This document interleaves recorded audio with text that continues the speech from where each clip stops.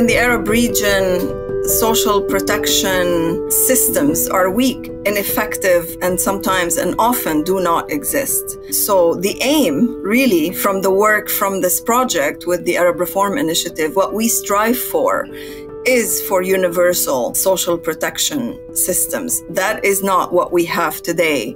Our Arab states do not see social protection as a human right and therefore do not see that as a, a, true part of the social contract that should tie all citizens and all residents to the state. And this is hence why the universality of the social protection systems has been jeopardized. The reality is that the social protection policies and systems have been fragmented, have been completely unequal. You have uh, people who are reached easily, others who are more in need uh, or completely excluded. So, also a truncated approach towards social protection. نلاحظ أن الفئات الفقيرة ليست مشمولة بالتحويلات المالية المباشرة وكما أن الفئات الطبقة الوسطى ما نعبر عنه أصلا بال missing middle هم الناس الذين كانوا في الطبقة الوسطى وهم الآن يتجهون نحو الطبقات الفقيرة نتيجة إلى عدم توفر برامج الحماية الاجتماعية الشاملة Universal Social Protection. Universal social protection is a pillar of social justice. It does not come as a complementary measure to other social justice programs.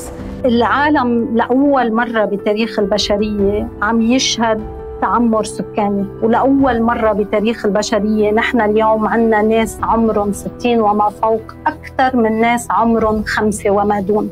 70% من كبار السن في عشر دول عربية لا يحظون بأي معاش تقاعدي. سياسات التقشف حول العالم وهذا ليس فقط في المنطقة أثبتت عدم جدواها لمحاربة الفقر.